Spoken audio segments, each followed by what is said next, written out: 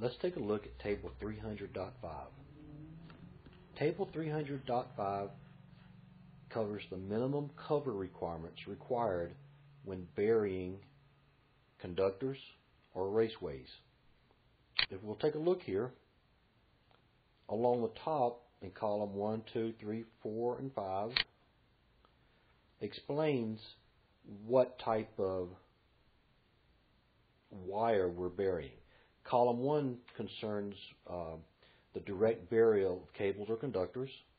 Column 2 covers rigid metal conduit or intermediate metal conduit.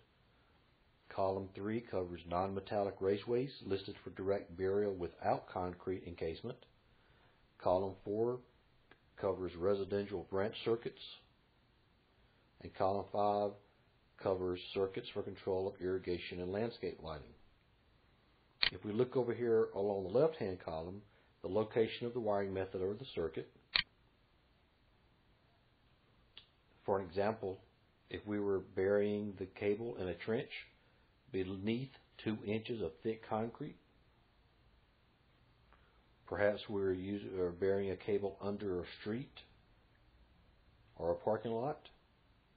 So just as an example, if you were asked a question, you were going to bury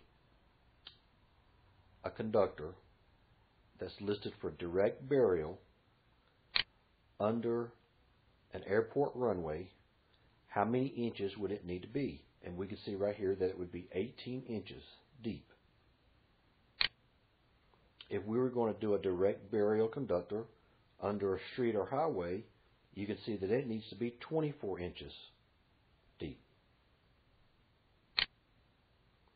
Suppose we were doing a residential branch circuit rated at 120 volts or less with a ground fault circuit interrupter protection, and this was going to be under 4 inch thick concrete exterior slab that will have no vehicles traveling over it, then I would need to bury it 6 inches for a direct burial or 4 inches if it's in a raceway, which would be like a conduit. So this is how we use table 300.5.